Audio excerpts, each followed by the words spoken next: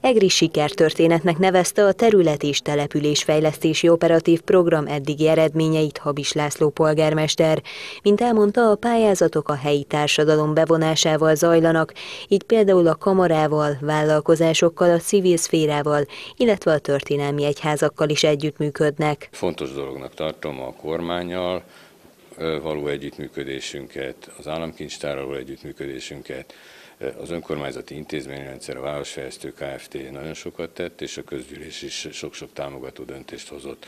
Összességében a mintegy 13,5 milliárdos programhoz a városi önkormányzat a teljes futamidő alatt mintegy 700 millió forintnyi saját erőt tesz hozzá. A polgármester elmondta, nagymértékben javulnak a város közlekedési feltételei, intézményhálózata, illetve nagy hangsúlyt kap a gazdaságfejlesztés.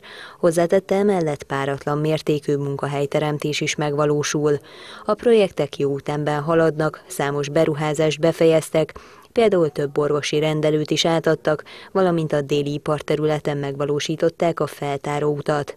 Emellett a közeljövőben szeretnék átadni például az Erzsébet udvart is, hangzott el a beszámolóban. A topos pályázat összesen 39 projektelemből áll, jelenleg 22 vállalkozói szerződést kötöttek meg, ebből 15 közbeszerzés köteles. 50% fölötti a jelenleg megvalósítási szakaszban lévő projekteknek az aránya, és 12% pedig már lezárult.